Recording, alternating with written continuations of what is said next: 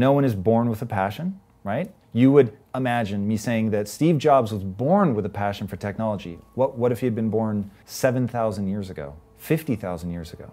Would he still have that? Would he be dreaming of the iPhone? No, of course not. So, where you grow up is going to influence your outcomes far more than who you are. This is terrifying. The greatest predictor of your future success is the zip code in which you grow up. It's not your IQ. It's all about like what what are you going to build? Like at what point do you look inside the brain and go, "Oh, this is how it works." And so I'm going to build desire. So building desire is one of the most misunderstood things in the world. It's like when people say, "Oh my god, I'm in love with this woman," and they think it's going to be like that forever, and when that wanes and they break up and they keep chasing that initial high without recognizing that's just not the truth of human neurochemistry.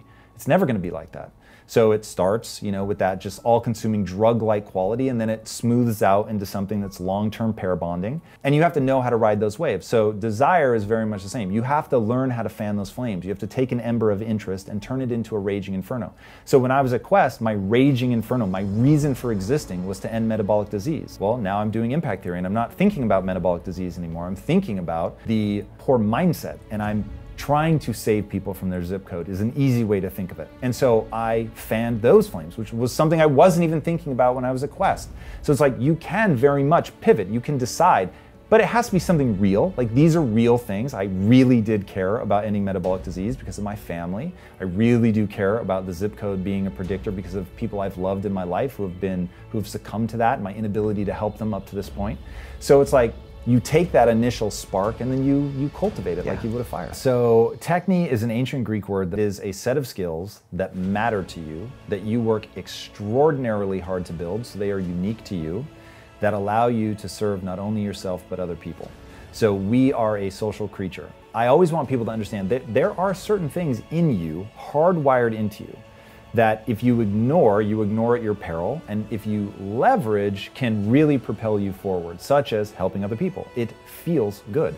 You were saying it's so immediate. When you do something nice for somebody, you feel that right then, man. It feels awesome. And like when you see people like really like fighting and just like think of uh, Hurricane Katrina to use American uh, disaster, where people flew from all over to come and help and save people. And it's like dude, people working more than 24 hours without stopping. I mean, it's just like working until they collapse. It's crazy. But when you feel like you can help another human being alleviate suffering, like people go all in, man. That is innate to us. We want to do that. We're gonna get this neural feedback loop of this feels awesome. I feel good. I feel urgency. Like I, I cannot stop myself. I have to help. And that's so powerful. And if you can make your business about that, the, the thing for me, I hate working with my hands. I hate it. I hate grease on my hands, all that.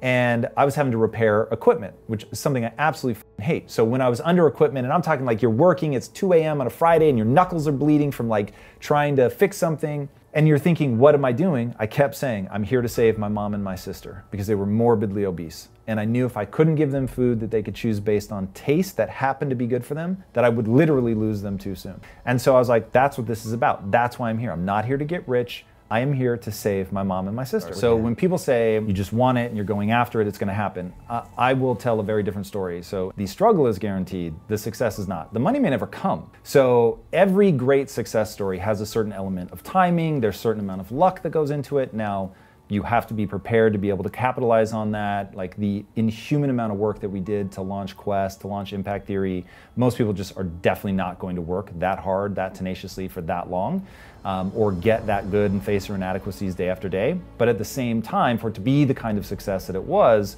there was timing involved. So it became readily apparent to me that I may never get rich, but I could definitely do something that I loved every day. And so what I know is even if I lost my money, through simple things like being grateful, being willing to build from the ground up again, putting in the work, doing something that's meaningful, serving not just myself but other people, I can live a life that's fulfilling. And since that's the only thing that really affects your neurochemistry, because I'm always telling people, look, the, the punchline of life is not wealth, it's not fame, it's not admiration, it's how you feel about yourself when you're by yourself.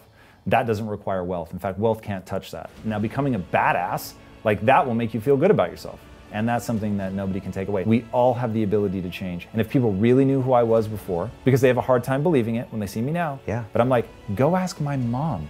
who was surprised that I succeeded. Ask my father in law, who did not want me to marry his daughter. Ask my best friend. All the people who knew me the most were like, we did not expect you to be successful. My mom recently told me that when I told her I was going to get rich, that um, her and my aunts and uncles used to laugh at me behind my back because they were like, bless this kid, he's you know, just a, a dreamer, like, but he's never actually going to get rich.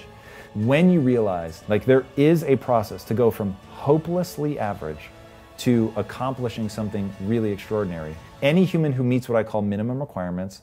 So if you do that and then you put in the work, you can get the result. And I'll say that the result is fulfillment. You're not necessarily ever going to achieve wealth, but you can achieve deep fulfillment, do amazing sh- serve yourself, serve other people. Like you can do some really, really incredible stuff. I think that's far more open to people than they think. I don't want people focused on the money because the money's not going to change how you feel. But if you focus on the fulfillment of techne, building up this rad skill set that's letting you serve yourself and other people, and then marry it to business savvy, your odds of becoming financially successful skyrocket. That's where I hope people get their heads around that.